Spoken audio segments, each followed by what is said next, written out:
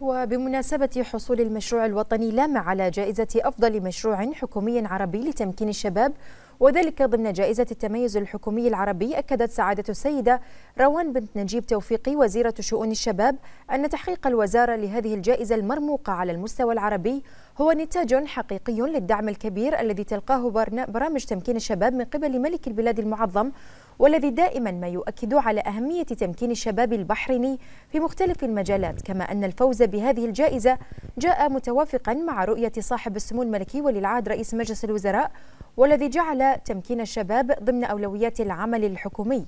وبينت سعادة وزيرة شؤون الشباب أن الوزارة من خلال المشروع الوطني لامع حرصت على ترجمة الاستراتيجية التي أقرها سمو الشيخ ناصر بن حمد الخليفة والرامية إلى تمكين الشباب البحريني وزيادة تنافسيتهم عالميا من خلال الارتقاء بمهاراتهم وقدراتهم عبر برامج نوعية ومتخصصة تساهم في اكتشاف وصقل وإبراز المواهب وتقديم الشباب البحريني نموذجا فاعلا في عملية التنمية التي تشهدها المملكة.